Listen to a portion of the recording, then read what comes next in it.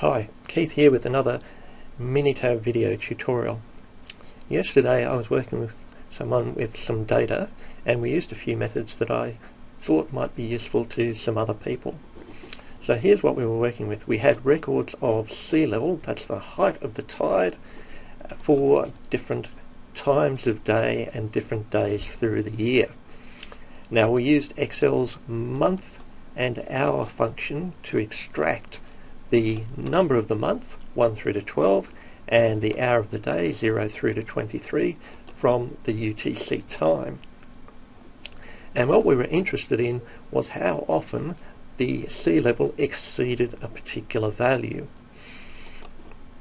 So we want to count up for each hour of the day and each month of the year how often the tide was greater than a particular value.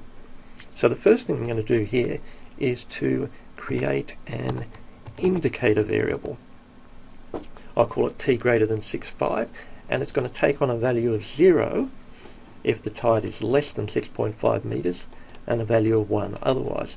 So I'll use the calculator and in that variable I'll use this function to store zeros and ones, sea level greater than equal to 6.5. So there we have it.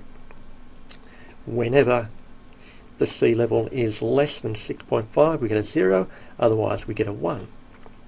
Now what I want to do is to summarize that information so that for January I have a count of how many times at the 0 hour the tide exceeded 6.5 meters and the same for 1am, 2am and so on.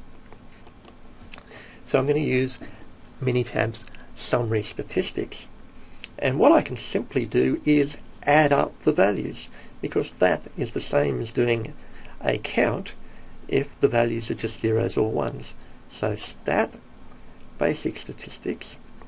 Now I don't want to display the descriptive statistics.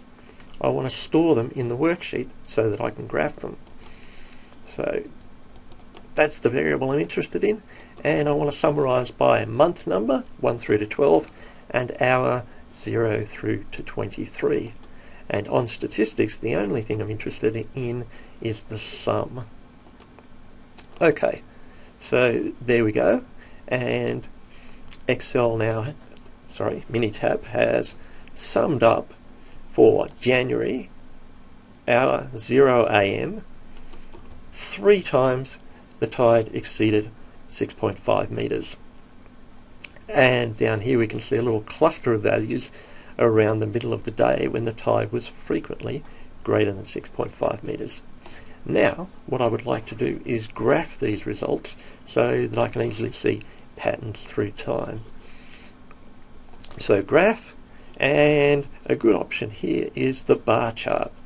And I've got different options here in Minitab, counts of unique values, function of a variable, or values from a table. Now I've already summarized the information the way I want, so I'm going to use values from a table, and I'm going to use this option down here so that I can cluster by month and by hour. Okay, so the value I want to plot is sum, and by var 1 here is the month, and by var 2 is the hour. So I want to group by hour. And what I also want to do is to plot each month in a separate panel or a separate graph. So I need to look at the multiple graphs options. Now, I can plot different variables on different panels or different graphs, but here I'm working with one variable, that sum one. So what I want to do is to plot different graphs by a particular variable. And I want to use the month variable by var1. And I want to plot that with the groups in separate panels. My alternative is on separate graphs, but that would give me a different graph for each month. I want separate panels on the same graph.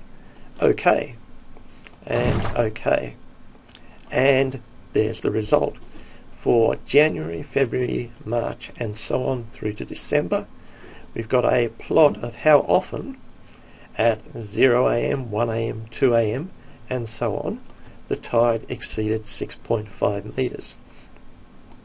So all I would do now is just tidy this up a little bit. Click down here on the axis, Control T to get the axis options, gap between clusters, turn that to zero. That tidies the graph up a little bit, makes it look a little bit nicer. The values on the bottom axis now are a little crowded together. Click again to edit the graph options. Tick increment here, turn off auto and change that to say 2. Hit OK and now it's displaying a tick for every second hour 0, 2 a.m., 4 a.m. and so on.